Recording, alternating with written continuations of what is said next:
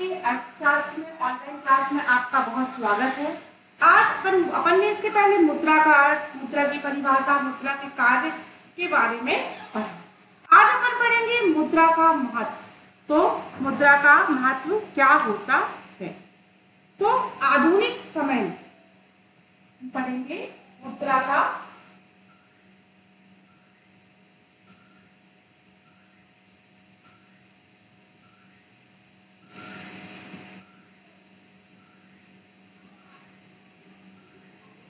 तो मुद्रा के महत्व में मतलब आधुनिक आर्थिक मतलब जो आधुनिक जो है, आधुनिक जीवन में, आर्थिक जीवन में मुद्रा का अधिक महत्व है। क्योंकि वस्तु की कल्पना बिना मुद्रा के, वस्तु की कल्पना नहीं की जा सकती।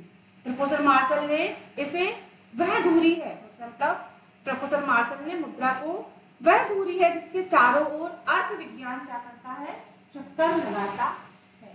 तो आधुनिक अर्थशास्त्रियों ने जीवन में खुद प्रोफेसर मार्शल ने कहा है कि मुद्रा वह दूरी है जिसके चारों ओर अर्थ विज्ञान चक्कर लगाता है।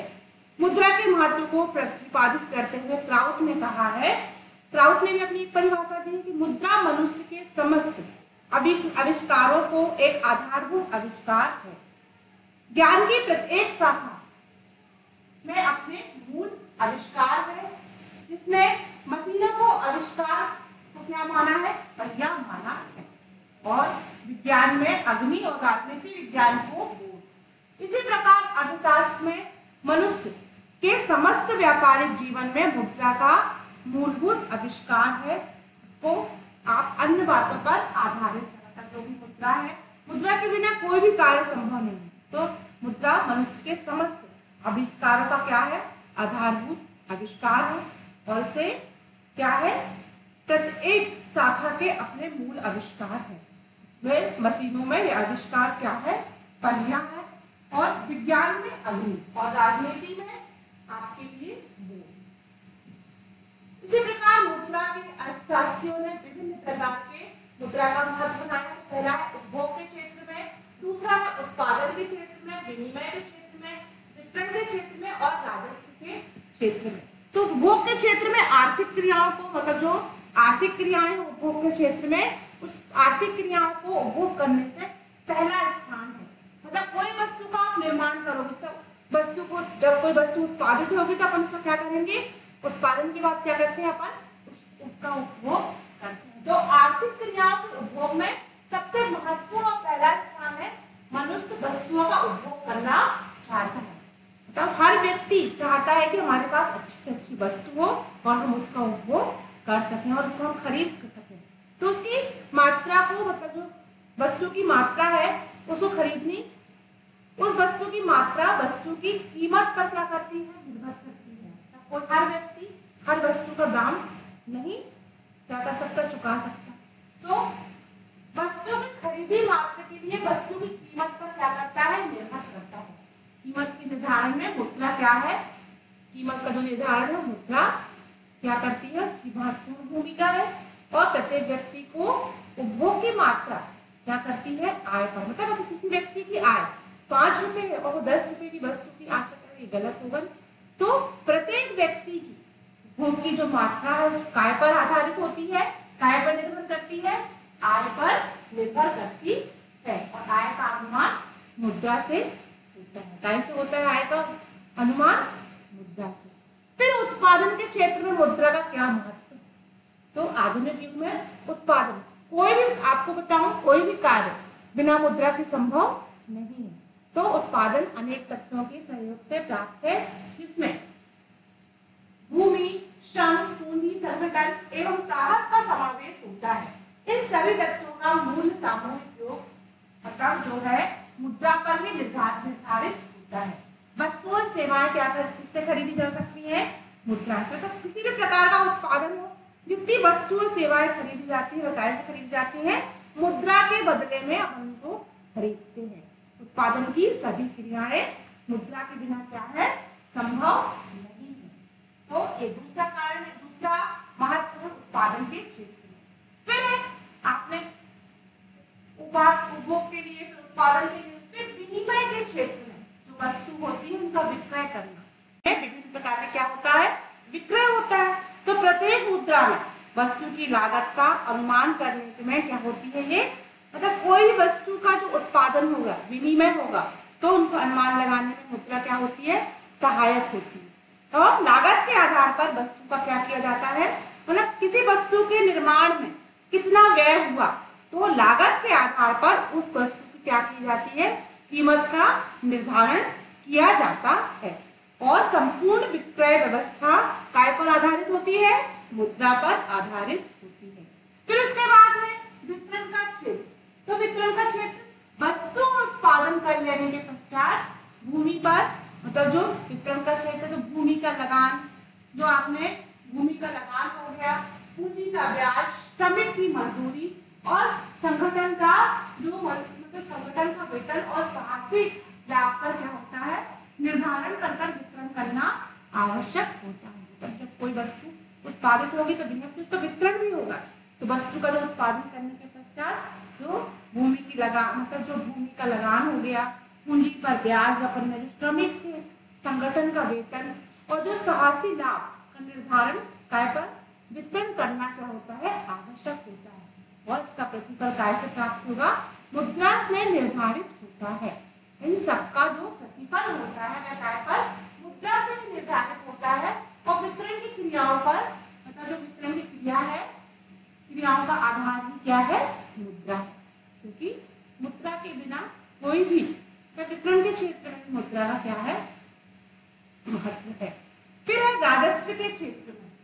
तो जो मुद्रा है राजस्व के क्षेत्र में क्या है? कल्याणकारी राज्यों की स्थापना के लिए राज्य की आर्थिक क्रियाओं मतलब जो राज्य की आर्थिक क्रियाएँ हैं, उनको हस्तक्षेप क्या हो गया? बढ़ गया।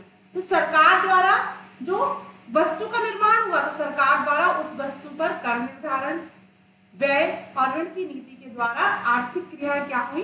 प्रभावित कर सकती है। तो मुद्रा के अभाव से उसमें सार्वजनिक व्यय और आय की क्रिया क्या हुई? संचालित नहीं की जा सकती। तथ्यों से स्पष्ट होता है कि आधुनिक युग में जो आधुनिक युग है, वह क्या है? मनुष्य की सभी आर्थिक क्रियाओं में मुद्रा के बिना क्या है संभव नहीं है। इस दृष्टि से मार्शल का कथन क्या होता है? सत्य प्रतीत होता है। मुद्रा रही है जिसके चारों ओर अर्थ विज्ञान क्या होता है? चक्कर लगाता है। इसका प्रश्न है बच्चों, मुद्रा वह रही है जिसके मतलब चारों ओर अर्थ विज्ञान चक्कर लगाता है, स्पष्ट कीजिए तो उसका पूरा तो जो पॉइंट वाइज आंसर होगा, वह यही होगा। अगर पूछा जाए, मुद्रा का महत्व लिखिए तो आपको इसी को लिखना है, और अगर पूछा जाए, मुद्रा वह धूरी है जिसकी अर्थ विज्ञान चक्कर लगाती है, स्पष्ट कीजिए तो आपको यही आंसर लिखना है।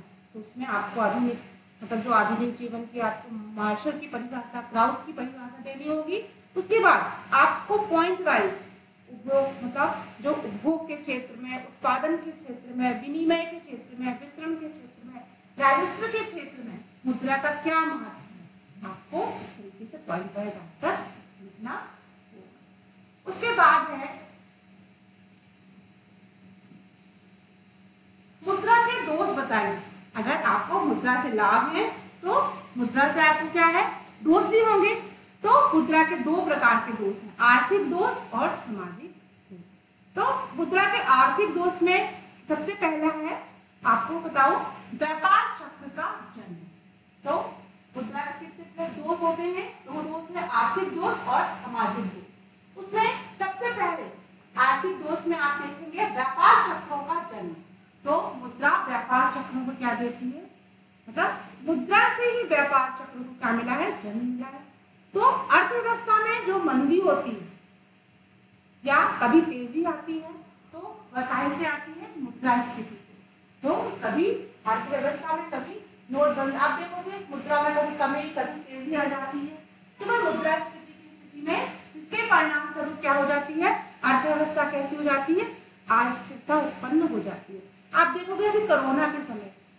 देश की राष्ट्रीय जो अर्थव्यवस्था है, वह कैसी हो गई थी? मध्य हो गई। इससे जो अर्थव्यवस्था थी, वो कैसी हो गई? उसमें अस्थिरता सी क्या हो गई? उत्पन्न हो गई। इससे अस्थिरता के प्रभाव किस पर पड़ता है? जनता पर पड़ता है। तो उतनी देश आर्थिक समस्याओं का सामना करना करना पड़ता है? विशेषकर मध्य काल में। रवि, आप देखते हैं कोरोना काल में पंखा मध्य काल। जिससे लोग क्या हुए? बेरोजगार हुए। तो मद्दी का कारण हुआ। जबकि तेज़ी के समय ऊंचाई मतलब जो ऊँची कीमतों के कारण लोगों को वस्तु क्या नहीं कर पाते मतलब महँगाई हो गई तो वस्तु लोग वस्तु को क्या नहीं कर पाएँगे? खरीद नहीं पाते। और सामान्य लोगों के लिए दोनों ही स्थितियाँ ठीक नहीं होती। और जो सामान्य वर्ग के लोग तो अब अगर वस्तु महँगी भी हो सस्ती भी हो ये दोनों स्थिति उन दोनों के लिए क्या होती है? ठीक नहीं होती। और वीडियो में बचत और विनियोग में क्या होता है? अंतर आने कारण, व्यापार चक्र को जन्म होता है। क्योंकि बचत और विनियोग मुद्रा के क्या है? रूप में ही किए जाते हैं। आप विनियोग करोगे, कोई वस्तु का विनियोग खरीदने के लिए विनियोग करोगे तो वो भी मुद्रा के माध्यम से हो और बचत करोगे तो मुद्रा को भी बचत करोगे। तो मुद्रा ही व्यापार चक्र के लिए क्या है? उत्तरदायी। तो ये इसका आर्थिक दोष, इसका मुद्रा। जो व्यापार चक्र के लिए क्या है? फिर धन की विश्वसनीयता संरक्षिता मतलब जो धन है, उसकी विश्वसनीयता और संरक्षता कौन है? मुद्रा। मुद्रा का मूल कभी स्थिर नहीं रहता। मुद्रा है, उसका मूल्य कभी स्थिर नहीं रहता। वह समय समय पर इसमें क्या होते हैं? परिवर्तन होते रहते हैं। जिसके कारण मतलब सरकार द्वारा अत्यधिक पत्र मुद्रा का प्रयोग किया जाता है। इसके कारण मुद्रा स्थिति की समय कीमतें अधिक बढ़ जाती हैं लोगों में भुगतान इसी कारण से कहा जाता है कि मुद्रा की आवश्यक मतलब विश्वसनीय भारतीय संरक्षिका है। मतलब मुद्रा की विश्वास भारतीय संरक्षा संरक्षिका किसे कहते हैं? तो जो मुद्रा में, समय समय पर मुद्रा में जो परिवर्तन होता है, समय समय पर इसके मूल्य में क्या होता है? परिवर्तन होते हैं। परिवर्तन के कारण सरकार द्वारा पत्र मुद्रा का क्या किया जाता है? प्रयोग किया जाता है, जिससे मुद्रा स्फीति के कारण कीमतें क्या हो जाती हैं? वस्तुओं की समय में बढ़ता बढ़ जाती है, लोगों को अधिक भुगतान करना पड़ता है। इसी कारण मुद्रा धन की विश्वासघाती संरक्षिता फिर अनावश्यक खर्चों में मतलब मनुष्य को मुद्रा नहीं मनुष्य को फिजूल खर्ची का मतलब आपके पास अगर मुद्रा अधिक है, पैसा अधिक है तो आप क्या करोगे? फिजूल खर्ची करोगे। तो अनावश्यक खर्च करोगे तो इसे कहेंगे फिजूल खर्च करते हैं तो अनावश्यक खर्चों में वृद्धि तो मुद्रा की क्रय शक्ति होती है। जैसे संपत्ति को तरल रूप में अपनी इच्छा अनुसार वस्तु खरीद कर क्या कर सकते हैं? उपयोग कर सकते हैं। जिसमें कुछ लोग फिजूल खर्ची मतलब इन दोनों के कारण लोग क्या करते हैं? फिजूल खर्ची करते हैं। जिससे शाम मतलब लोग अपनी अच्छा दिखने के लिए, अच्छे के लिए, आपके पास अगर एक गाड़ी से काम चल रहा है लेकिन चाहते हैं लोग, मेरे पास दो गाड़ी लोग दो गाड़ी दिखावा की आवश्यकता के रूप में, जैसे सामान प्रवृत्ति क्या हो जाती है, बढ़ जाती है, उसे अव्यय भी क्या होता है, बढ़ता है। इस प्रक्रिया से सट्टेबाजी को प्रोत्साहन मिलता है मुद्रा के उपयोग क्या हो जाते हैं ऋणग्रस्ता में लोग सांस की वजह से लोग ऋणग्रस्त में भी क्या हो जाती है, वृद्धि हो जाती है। फिर मुद्रिका, जो मुद्रा है, वो सेविका नहीं, स्वामी बन जाती है। बताओ मुद्रा आप सेविका नहीं स्वामी? आप देखोगे मुद्रा का इतना चलन इतना प्रचलन मुद्रा के बारे में, हमारे जीवन में जो समस्त क्रियाएँ हैं वह काय से आई है। मुद्रा हमारे अधीन न रहकर हम मुद्रा के अधीन हो गए। मतलब बिना मुद्रा के हम कोई भी कार्य नहीं कर सकते। अगर आपको एक पेन भी खरीदना है तो आपको काय की आवश्यकता है, मुद्रा की आवश्यकता है। तो मुद्रा हमारे जीवन की समस्त क्रियाओं को इस तरह से मुद्रा हमारे अधीन न रहकर हम मुद्रा के अधीन हो गए तब जो हमारी आवश्यकताएँ वो काय से पूरी होती हैं, मुद्रा से पूरी होती हैं तो मुद्रा के क्या है? आधीन है बिना मुद्रा मतलब आपके पास अगर आपको एक पेन भी खरीदना है तो आपको काय की आवश्यकता है? जब तक आपके पास पैसे नहीं होंगे, आप कैसे पेन खरीद पाओगे? तो हम क्या है? मुद्रा के अधीन हमारी आवश्यकताओं को संतुष्ट करने के लिए साधन मात्र है, किंतु आज मुद्रा कमाना ही हमारे जीवन का लक्ष्य मतलब हम चाहते हैं कि हमारे जीवन की जितनी भी आवश्यकताएँ हैं पूरा करने के लिए। हमें काय की आवश्यकता है? पूंजी की आवश्यकता है। और सुख शांति का एकमात्र आधार आज क्या है? मुद्रा बन गई है। यह कहना पढ़ रहा है कि मुद्रा आज हमारी सेविका नहीं, बल्कि स्वामी होता। जो मुद्रा है, पैसा है, रुपया है, वह हमारा क्या है? मुद्रा सेविका नहीं, स्वामी बन गए। क्योंकि मुद्रा के बिना कोई भी कार्य संभव नहीं। फिर अति पूंजीकरण के कारण मतलब अति पूंजीकरण व अति उत्पादन का दोष। तो इसका मुख्य दोष ये भी है, अति पूंजीकरण के कारण, पूंजीवादी अर्थव्यवस्था में विभिन्न उद्योगों में अति पूंजीकरण और उत्पादन का दोष मुद्रा के कारण ही उत्पन्न हुआ है। क्योंकि साक्षी सुविधाएँ जो होती है वो उपलब्ध कराने के लिए पूंजी का विनियोग क्या है? आवश्यक है। क्योंकि बिना मुद्रा के या बिना पूंजी के आप कोई भी व्यापार का उत्पादन नहीं कर सकते। तो उसमें पूंजीपति अपने लाभ को अधिक करने के उद्देश्य से ही अति उत्पादन कर बैठता है। मतलब कोई भी व्यक्ति अगर व्यापार शुरू करेगा, पूंजीपति होगा, लाभ कमाने के उद्देश्य से वह क्या करेगा? अधिक उत्पादन करता है और अर्थव्यवस्था में अति उत्पादन की समस्या हो जाती है। इससे क्या होती है? कीमतें क्या हो जाती है? गिरने लगती है। श्रमिक की छटनी होने लगती है। बेरोजगारी क्या होती है? बढ़ती है। और संपूर्ण अर्थव्यवस्था जो होती है वह कैसी होती है? अनिश्चित ताकि स्थिति उसमें उत्पन्न हो जाती है, जिससे अति उत्पादन के दोष के लिए मुद्रा को भी क्या करते हैं उत्तरदायित्व बचाते हैं। मुद्रा का दोष हो गया। फिर मुद्रा के सामाजिक दोष हो गए। देख, आपने आर्थिक दोष देखे, अब ये सामाजिक दोष। तो मुद्रा समाज के लिए भी क्या है? कुछ दोष है। मुद्रा समाज में व्याप्त बुराइयाँ।